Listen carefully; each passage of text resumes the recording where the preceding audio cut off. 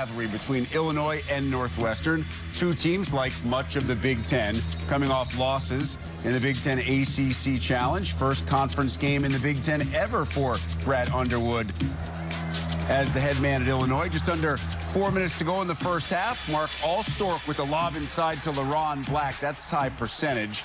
Illinois up by four. A couple minutes later, Cats down by three. Really sloppy first half all around. 20 combined field goals, 20 combined turnovers. That, one of the good moments for Northwestern as Bryant McIntosh knocks down the wing three to tie it at 30 all. Alstork then driving. Late Illinois run puts the Illini up 36-32 at the break. Second half, about 13 minutes to go. Aaron Jordan in the corner for three. Two of three 10 points, but just three shots. Jordan has been hitting everything he's been making, just hasn't taken enough shots as of late for the Illini. Under 10 to play. It's a three-point Illinois lead. McIntosh, shooter's roll, would complete the three-point play to tie this thing up at 49.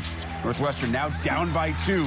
Derek Pardon ties it up. Nice look inside from BMAC. Under seven to go. Cats still down by four. At this point, neither team had led by more than four points at any point in the second half. Scottie Lindsey backs down his man and makes the tough jumper, and then it's McIntosh for three of his 14.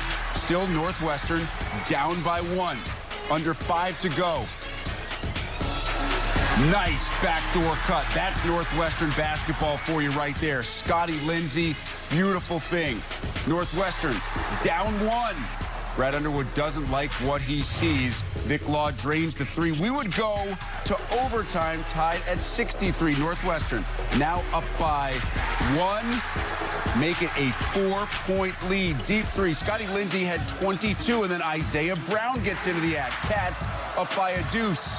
Illini down 68-66. Te'Jon Lucas, nice drive and finish. NU takes the lead at the line. 70-68 game. One last chance for the Illini, but Lucas is rejected by Derek Pardon as Northwestern adds a couple of freebies at the end, and the Wildcats hold on to win 72-68. Much needed win for a Northwestern team which had already suffered three losses on the season. As for Illinois, after that 6-0 start, now consecutive losses, Wake Forest, and now Northwestern. And NU head coach Chris Collins standing by with John Crispin. First, and we get one of these, just tell me about how good it feels to walk away with a win. I can't believe we're playing conference games this time of year, but it was a heck of a game. I mean, Illinois, they're really hard to play against. They deny every pass. They come at you in waves you just got to make plays. You know, we weren't able to run our offense, but we had guys foul out. How about Isaiah Brown? It's a big shot, makes two big free throws, and we finally got a couple stops on Lucas at the end when we needed him. There's been some questions in terms of the intensity, the sense of urgency, going to the NCAA tournament last year and the expectation. What do you learn from your team tonight? Well, we're a work in progress, but I saw a lot of fight.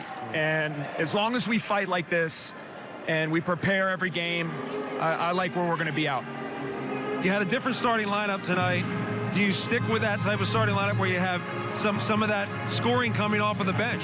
Well, let me enjoy this one first, no. and then we'll uh, we'll figure it out. We got our hands full at West Lafayette Sunday, but I was really proud of Scottie Lindsey. You know, yeah. coming off the bench, he had a tough game at Georgia Tech.